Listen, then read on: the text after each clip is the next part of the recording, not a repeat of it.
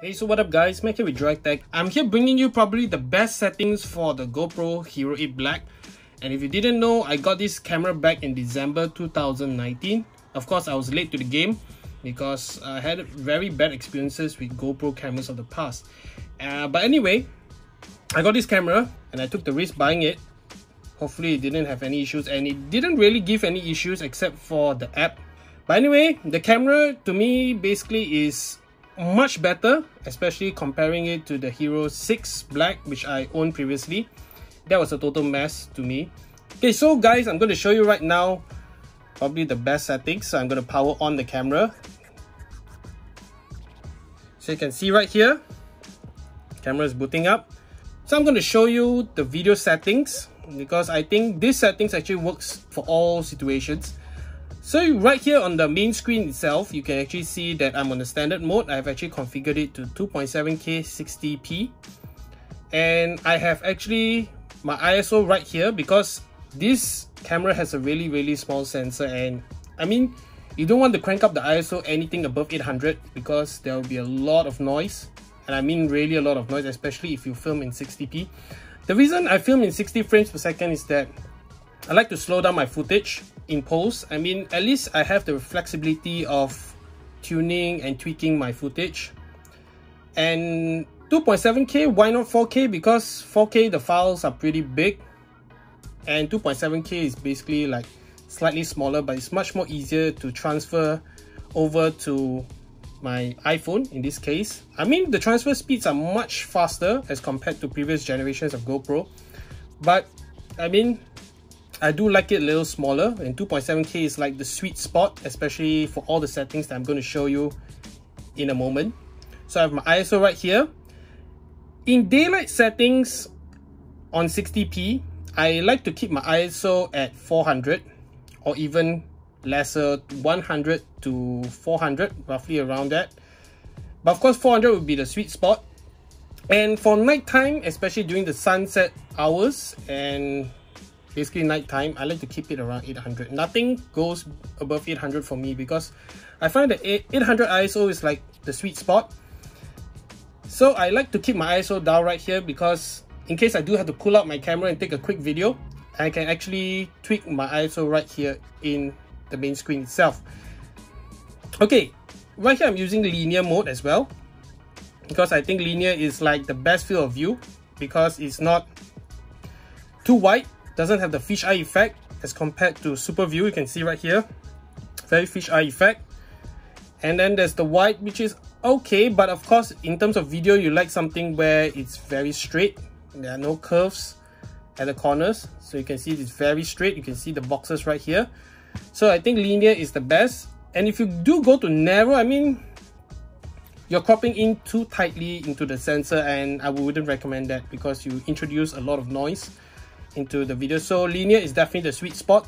So anyways i do have my toggle right here. So if i do wish to change it i can just do it on the fly. So i can switch to super view and back to linear for example. So it'll be it's a very nice setup right here. I would definitely recommend it because of course it's personal preference. But if you're like me and you do basically basic video everyday video i think this is the best settings.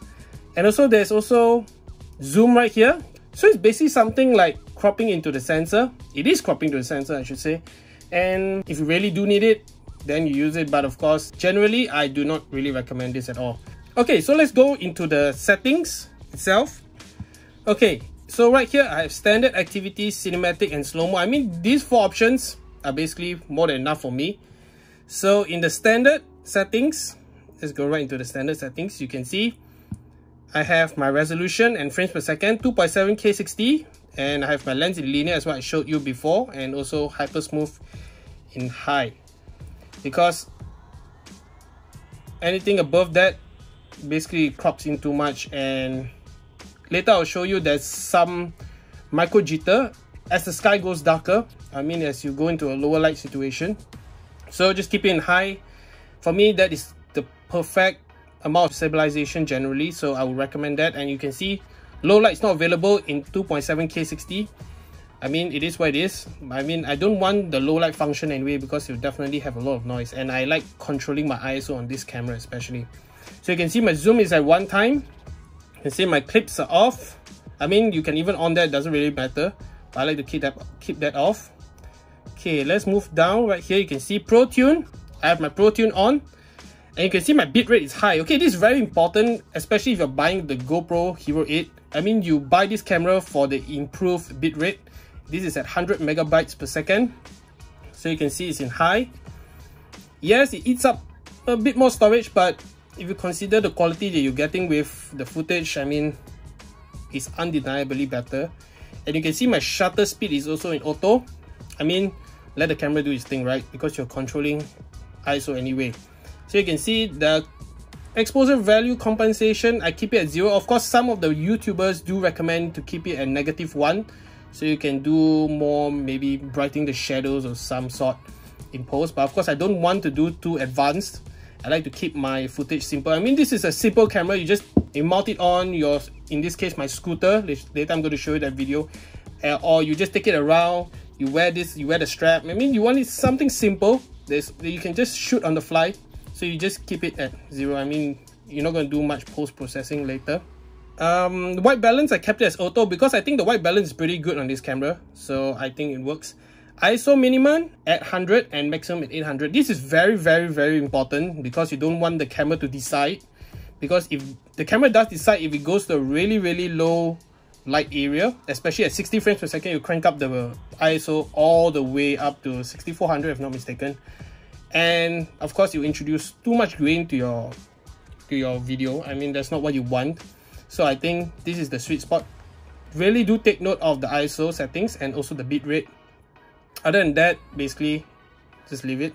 Sharpness is at high because, I mean, as I, I told you earlier, right, I like to use this on the fly. So keeping my sharpness at high just basically makes the cut. So the color is GoPro color, which is basically enough, I guess. But of course, a bit too much in the shadows. It crushes the shadows a bit too much. So but anyway that doesn't really bother me. Because anyway i'm using this mainly for action not really for like you know cinematic footage and stuff. So raw audio is off because i don't want a separate file. Wind is auto. All these settings you'll be able to hear especially the wind noise when i'm riding a scooter because i'll be riding at approximately 115 kilometers per hour and you know at that speed the wind is pretty pretty bad you can see stereo mics are on Shortcuts, you can see right here, this is what my shortcuts are. So you can just pause it and probably do the same settings for yourself. So basically that is it, the perfect setting for standard video. Okay, if I'm riding my scooter for example, I will switch it to activity mode and that's where I will get the super view mode. So same resolution, same, same frames per second, but the lens is in super view. The reason I put it in super view is that I can get more in my frame. I mean, because I'm not using a chassis or something, so I, I mount it on my handlebar itself. So I use super view so I can get a way wider view of uh, the surroundings. I mean, usually you use that in action spots. Hyper smooth on. That's the maximum you can go for super view, which is uh, good enough, but However, as the light gets dimmer, there will be more jittering in the video. Okay, so you can see low light, zoom, clips, basically the same settings, even for the Pro Tune as well. You can see bitrate is high, shutter is auto, and oh, you can see right here, everything's the same. So if you follow the same settings, you'll be good to go.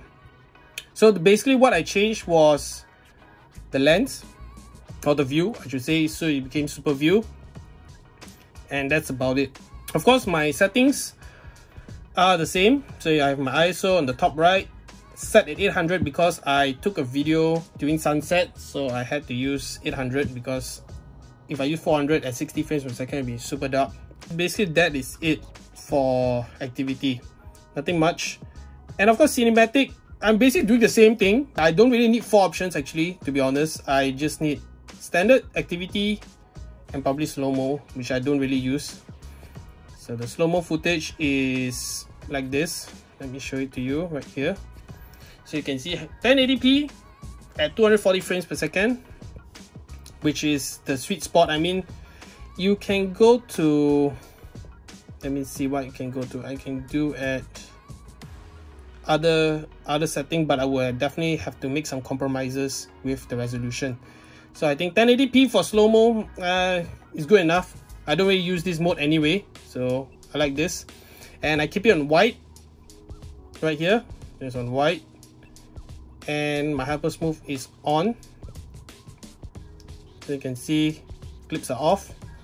I don't really need the clips because I think it is unnecessary for my use. But of course you can tweak it to your liking. You can see I totally off everything because I basically didn't really bother about this mode much.